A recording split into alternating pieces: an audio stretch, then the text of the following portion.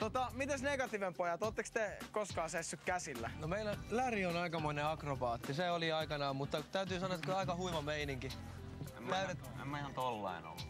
Lähteekö, lähtisikö Läri tuohon noin? Pystyisikö seistä näiden keppien varassa?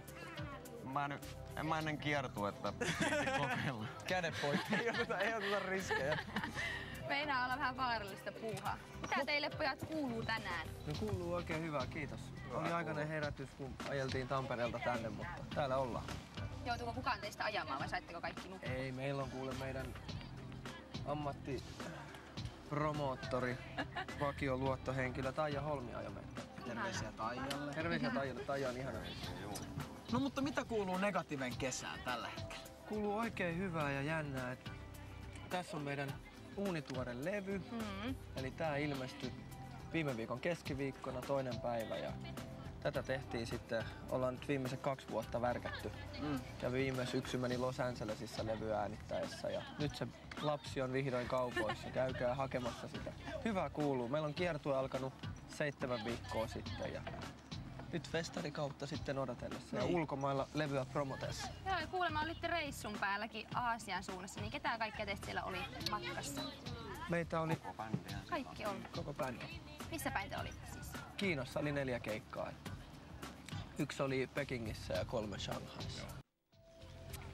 Uusi levy Ne on, eli Neon, on siis kaupoissa ollut nyt viime keskiviikosta lähtien ja uusi lista tulee keskiviikkona.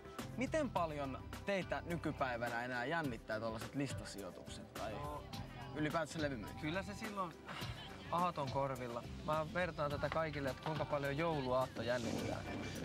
Se ei jännitä sit välttämättä niinku montaa kuukautta viikkoa ennen, mutta sit kun se alkaa olemaan niinku siinä korvilla, niin kyllä se aina vähän perhosia tuo vaan. Toi, Ta- täytyy toivoa, että et, eihän se, ei mikään ole itsestään selvää. Et Mm. ihmiset on, mutta kyllä toi on sen verran hyvä levy, että kyllä mä uskon, että Mutta te olette siis tosi tyytyväisiä. että ain, on ainakin se, mitä niinku aktiivifaneilta ja semmoisilta ihmisiltä, jotka on, niinku, meillä on todella fanaattista tämä fanikunta ollut mm. aina, niin saatu, saatu tosi paljon positiivista palautetta levystä.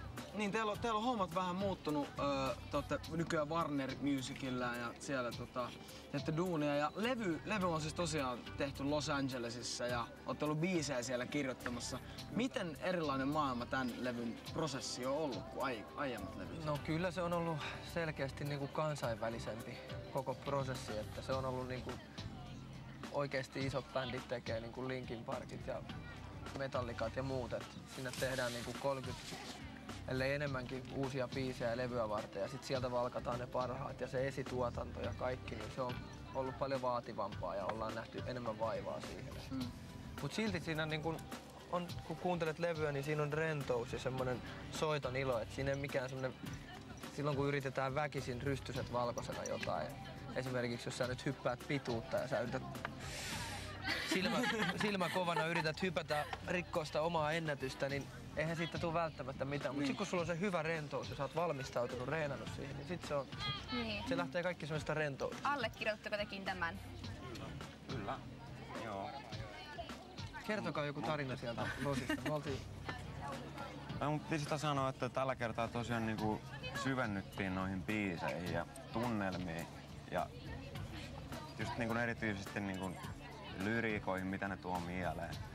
Aivan eri lailla, että ennen, ennen ollaan sellainen enemmän roiskasta. tehty, tehty biisit ja, ja näin. Ja sitten vähän ruuvattu, mutta tota, tällä kertaa mentiin todella syvälle. Onko nyt sellainen fiilis, että olette niinku ammattilaisia? No ei, mä en tiedä, kyllä tää edelleenkin on rakas harrastus, että ei tätä niinku työksi voi mieltää millään. Koko ajan opitaan kuitenkin. Niin, ja koko elämämme ollaan soitettu enemmän tai vähemmän niinku jotain instrumenttia. Että kyllä tää niinku musiikki on enemmän sellainen elämäntapa ja intohimo. Ja mä välitän, väitän, että se myös sitten välittyy meidän faneille ja kuulijoille, että ihmiset aistii semmoisen niinku rakkauden musiikkiin. Ehdottomasti. Se yhdistää.